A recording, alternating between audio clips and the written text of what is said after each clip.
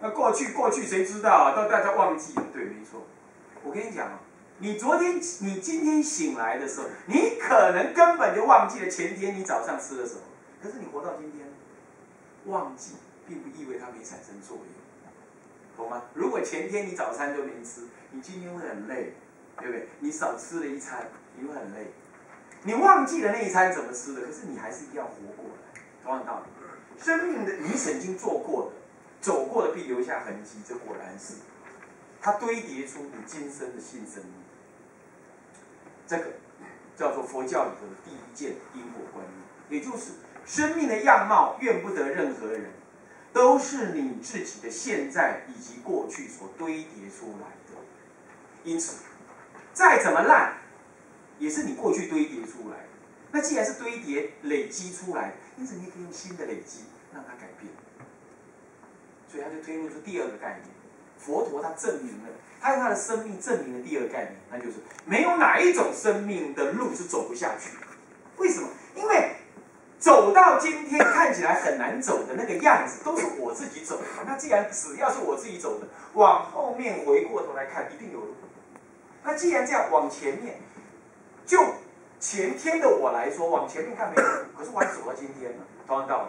今天再往前面看，我一定有，也就是我可以靠着我的智慧、我的理解、我对生命的因果关系的认知，我创造我未来好的。所以佛教从来没有一点一毫一丝一分的消极，他就告诉你，你生命可以创造任无限的可能。而且你就是你自己，这样了解了吗？那这件事情跟一般信仰神或者信仰唯一神或者信仰鬼神崇拜崇拜是完全不同。怎么说？鬼神崇拜常常是这样：我求你赐我什么？有没有？人是卑微的，人在鬼神面前是极为卑微，然后也几乎没有选择能力的，因为你赐。你赐给我什么？那我没有，我想要，所以你给我。他是这种观念。那这种观念很恐怖。怎么说？你看啊，病人求上帝赐他健康，可是医生可能求他有病人，不然他没，他就可能，他就可能没有没有饭吃了。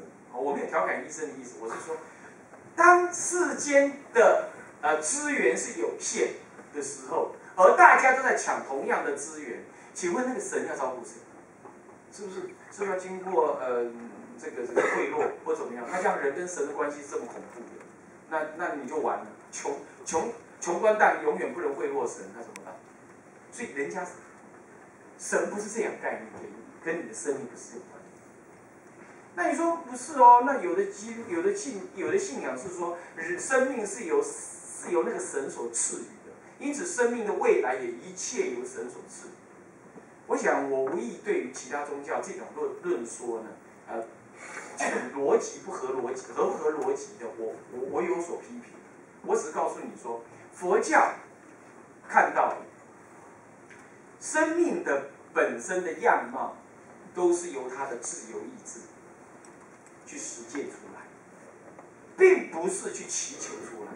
那你当然接着问，那这样话你们也有佛哎，佛坐在那也是被拜。他也被上香，也被顶礼，那那不是求拜是什么？呃，是的，这点等一下我们就会说到。说那个是求，但是求谁？是求你自己，也是求佛，没有错。那求那尊佛跟求上帝有根本的不同。佛教基于刚刚讲的因果、生命的因果理论，你也可以接着就看到。基于一种宗教，好像有人去拜上帝，有人去拜佛，那这不是说在求吗？那这又有什么不同？哎，这就是所谓宗教哲学的比较哲学当中，比较宗教学当中的一个观念，那就是：当一个人去礼拜、去礼敬、去祈求上帝的时候，他的关系是主仆的关系，你懂吗？主仆的关系是他创造我。我的生命是被他所恩赐，因此我呢不能够逾越他的能力。那我想要的可能是我能力不足的，因此我求他。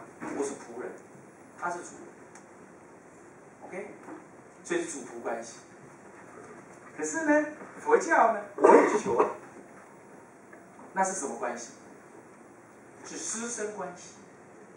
哎，就不同了。师生关系，哎，老师今天坐在这里，下次出了门了，你愿意再叫一下杨教授、杨老师、杨主任？可以，你可以叫。如果他不叫，他也不能再当你，因为你的课已经结束了，对不对？是不是这样子啊？所以老师生的关系是什么？只是一个，呃呃，只是一个学习的关系，而且更更天才的是这样哦。你如果不来修这门课，他是老师，你也是学生，不过你可以没关系。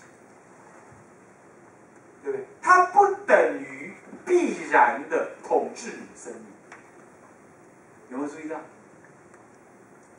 佛教里头当然也礼拜佛，这个礼拜不是被规定，也不是族谱关系，这个礼拜是一个师生关系。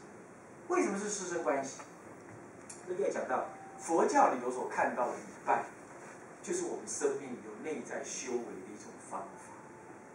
那我要在他讲到这个的时候，我要提到说，再回过头来讲，佛教讲怎么面对生命，就是讲到对生命的修为。修为是什么意思？修是修正，为是什么行就是一种修正的行为，对自己的生命，让自己的生命朝向一个更你喜欢的样貌去。好，这就又推了第二第二个问题来了。刚才第一个问题是生命为什么会是这样？佛教的解释是是由你自己造成。接下来你就会这样想：那如果我不要让它这样，佛教就会告诉你第二件事情，就是那你可以自己创造，你可以放入新的元素，让你生命的结构长相不一样，你绝对可以做得到。好，这样一定引申第三个问题，师傅，那我的生命应该什么样才 OK？那我如果这样讲，如果你是画，你是我，我这里是画室，心如工画师。啊，那么我我这里是画室，啊，我是教你画画的老师，你是来这里学画的，